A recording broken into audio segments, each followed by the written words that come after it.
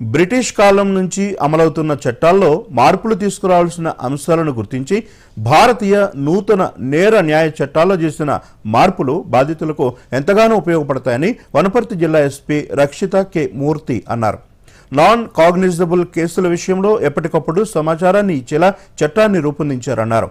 భారతీయ నూతన నేర న్యాయ చట్టాలు జూలై నుంచి అమలు కాబోతున్న నేపథ్యంలో వనపర్తి జిల్లా ఎస్పీ రక్షిత కె. మూర్తితో దూరదర్శన్ ప్రతినిధి Balaswamy Malyala face to face. July ఒకటి నుండి భారతీయ నూతన నేర న్యాయ చట్టాలు అమలు కాబోతున్నాయి. ఈ చట్టాలలో ఈ కొత్తగా వచ్చినటువంటి చట్టాలు ఎలా ఉన్నాయి?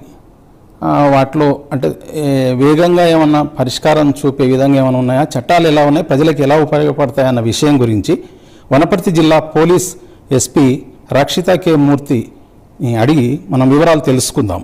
నమస్తే అండి. మనకి July first two thousand twenty four నుంచి కొత్త చట్టాలు మనకి వస్తుంది. అండ్ uh, ఈ కొత్త చట్టాల గురించి ఆల్మోస్ట్ ఒక టూ మంత్స్ నుంచి మేము మన పోలీస్ డిపార్ట్మెంట్ ఉండే సిబ్బంది అందరికీ ట్రైనింగ్ ఇస్తున్నాము. అండ్ మనకి కూడా uh, uh, మన డీజీ ఆఫీస్ అండ్ మన అకాడమీ ట్రైనింగ్ ఇచ్చారు.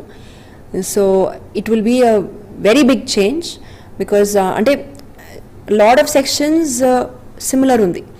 బట్ కొన్ని సెక్షన్స్లో there are changes and also ప్రొసీజర్లో అంటే ఇన్వెస్టిగేషన్ ఒక కేసు ఎలాగ ఇన్వెస్టిగేషన్ చేయాలి అండ్ అరెస్ట్ ప్రొసీజర్స్లో ఛార్జ్ షీట్ ఫైలింగ్లో అవిలో కొన్ని చేంజెస్ ఉంది. అండ్ ఈ changes I think is very important because మీరు పాత చట్టాలు ఏముందో అది ఆల్మోస్ట్ బ్రిటిష్ uh, కాలంలో వచ్చింది మనకి.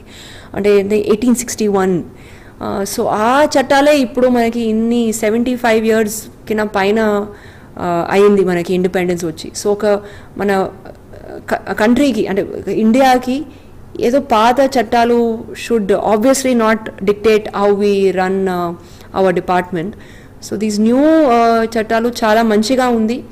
And they are the requirement for this country అని అనుకుంటాను నేను. అంటే ఇప్పుడు ఈ చట్టాల ద్వారా త్వరితగతిన పరిష్కారం అయ్యేటందుకు కానీ లేదా uh, uh, ఎవరైతే బాధితులు ఉన్నారో వాళ్ళకు న్యాయం జరిగేటందుకు కోసం ఇందులో ప్ర- ప్రత్యేకంగా ఏమైనా పొందుపరచారా? ఓకే అంటే I can give you some examples ఇప్పుడు for example non cognizable offences ఎలాగ ఉండేది అంటే కాగ్నిజబుల్ ఒఫెన్సెస్ మనకి ఒకటి పెటిషన్ వస్తే వాళ్ళది ఎఫ్ఐఆర్ మేము చేస్తాం. నాన్ కాగ్నిజబుల్ పెటిషన్ వస్తే యూజువలీ మేము కోర్ట్కి పంపించేసి కోర్ట్ పర్మిషన్ తీసుకొని we use to register cases so that అది ఎంత టైం పడుతుందో nobody had an idea and ఒక బాధితులకి అది ఫీడ్బ్యాక్ కూడా లేదు ఇదిలో. బట్ ఈ కొత్త చట్టాలు ఇప్పుడు ఇలాగే పెటిషన్స్ వస్తే విచ్ ఇస్ నాన్ కాగ్నిజబుల్ అదిని మేము రెగ్యులర్లీ ఫీడ్బ్యాక్ ఇవ్వాలి బాధితులకి. అంటే ఫోర్త్ నైట్లీ ఏముంది అది ప్రోగ్రెస్ ఏముంది ఎంత మట్టుకి వచ్చింది what is the status of it whether court permission ఇచ్చిందా మన వాళ్ళు ఏం చేస్తున్నారు అదిలో ఎంక్వైరీ చేస్తున్నారా అని this one example where feedback system ద్వారా బాధితుల్ని మేము అంటే స్ట్రెంగ్తన్ చేసాం అంటే వాళ్ళకి ఇప్పుడు పోలీస్ డిపార్ట్మెంట్ మీద now there is responsibility that బాధితులకి రెగ్యులర్ ఫీడ్బ్యాక్ ఇవ్వాలి. So this is obviously a very good initiative in the new law అని నాకు అనిపిస్తుంది.